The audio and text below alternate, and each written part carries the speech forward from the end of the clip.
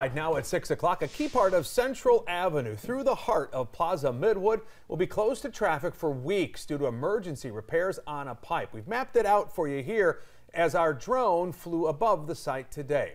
Now, while your first thought might be, how will you get around this? Businesses tonight are worried they will lose your foot traffic during the construction.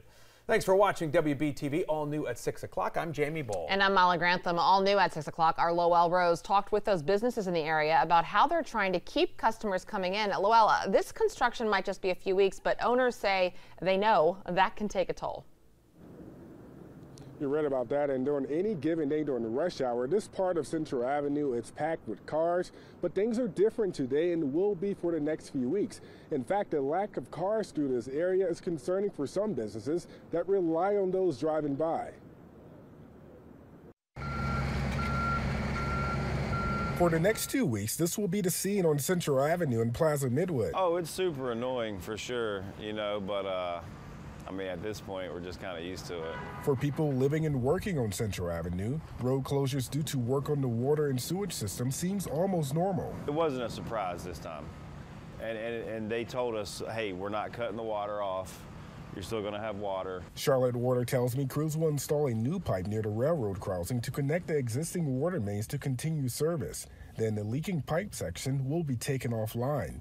Although people will continue to have water, it's still an inconvenience for some. It's been an inconvenience going to the grocery store as well because I go to the Harris Teeter right on Central Avenue. It's definitely not as trafficked as it usually is. We always have cars driving by, people walking up and down the street.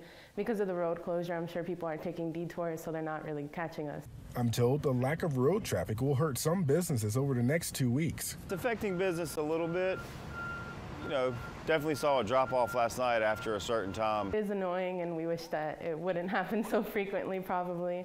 Our parking lot is also in the back so it's not easy to access it unless you're on Central.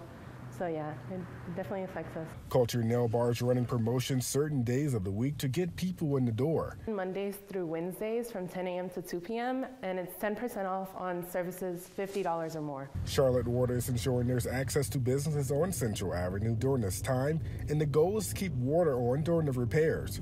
Meanwhile, businesses want people to know this. Come on down, we're open.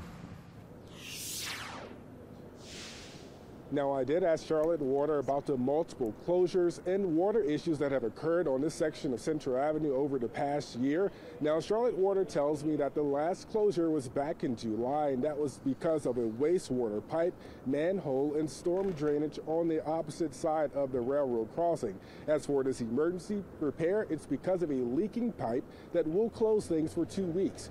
Reporting live in Charlotte, Lowell Rose, WBTV, on your side.